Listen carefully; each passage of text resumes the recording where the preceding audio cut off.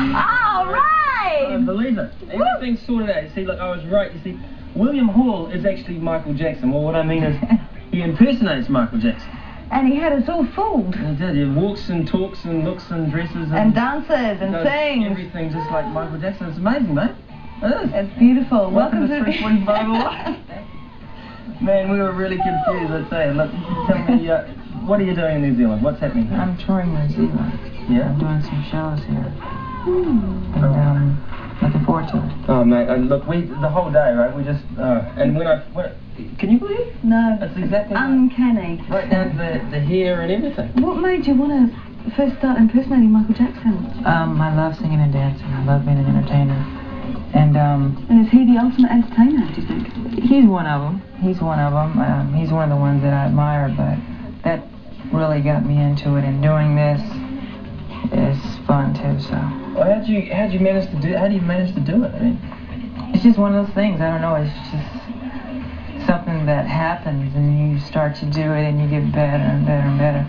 And um, I don't know. is it the videos? Do you look at videos and, I look at videos. I look at um, pretty much everything I can get my my eyes on. so There must be a lot of self-discipline involved. yeah, a lot. Being Michael and then trying to be William Hall, that is very confusing. Do you get a lot of time for being William Hall? Not as much as I would like, but I get enough. I think. do you, you, do you, like when you say you like, you, you look like Michael Jackson, but do you really think like him as well? I mean, The only time I really catch myself thinking like him is when I'm performing. You, Yeah. you kind of have to set yourself into this time zone, and you know, just say. Do you "Oh, think you really understand him? Do you think maybe you're one of the few people that might really understand what it's like I don't know. I don't think anyone really understands Michael but Michael. it's the most mysterious person I think I've Yeah. ever met. I think. It's Have you met him? Incredible. Well, no, no, no, not that I've, well, I've met him, sort of, you know what I mean.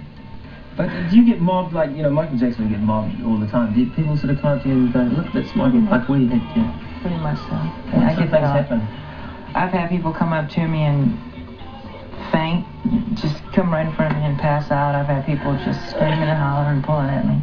And it's weird because um, I don't think I look like him. I just think it's one of those things. I think people get so caught up in the hype. Mm. And um, You I don't don't, know. maybe you don't think you look like him, man. I'm telling you, you look like him. Yeah. And you've met the real Michael Jackson, haven't you? Yeah, what was that like? it was very strange. Very. How did Weird. he react to you? Well, when I walked in, he was laughing because I guess he wasn't really expecting to see what he saw.